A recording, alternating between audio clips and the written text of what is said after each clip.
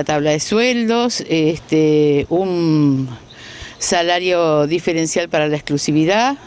es lo, nuevo que estamos pidiendo, bueno, y, este, y trabajando siempre en, en áreas sociales, ¿no?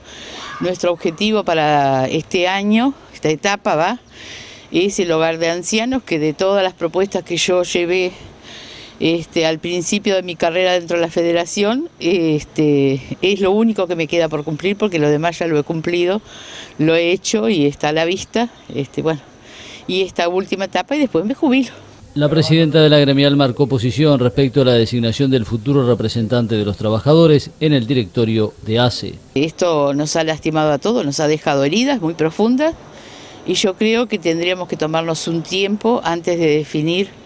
quién se podría hacer cargo de esto, porque realmente el compañero de la corriente que sea que pueda ir, digo, este, va a ser permanentemente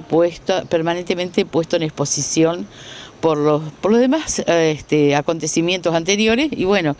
yo creo que no es una cosa que en la que se nos vaya la vida, la representación, sí es importante, pero no es en algo que se nos va la vida y por lo tanto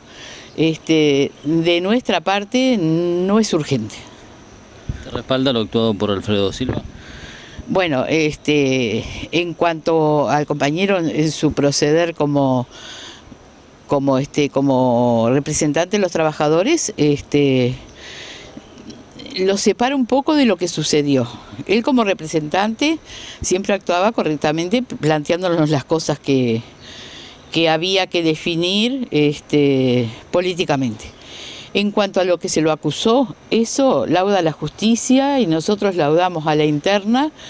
este, porque consideramos que esto nos dañó moralmente a todos, con una suspensión a todos los compañeros involucrados, pero no más de allí porque Dios para juzgar no soy. ¿Pero comparte la decisión del Tribunal de Ética? Sí, sí, por supuesto, yo voté la sanción, este, como todos los demás compañeros, digo, porque considero de que, bueno, eh, la herida a la federación le quedó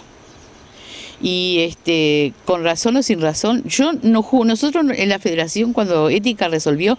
no juzgamos los hechos que juzgó la justicia.